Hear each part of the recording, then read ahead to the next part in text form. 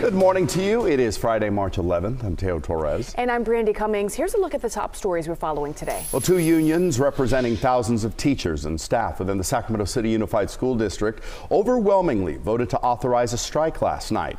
This comes amid demands to address the staffing shortage and COVID 19 health and safety guidelines. The school district superintendent sent a memo to employees cautioning a strike, saying it threatens to shut down schools. A date to strike has not been set. A proposed state bill would place a new tax on real estate investors. It would tax an investor's net gains from the property's time of purchase until a final sale at a rate of 25%.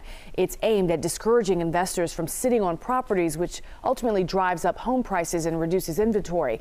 There are some exemptions for first time homebuyers and long-time homeowners.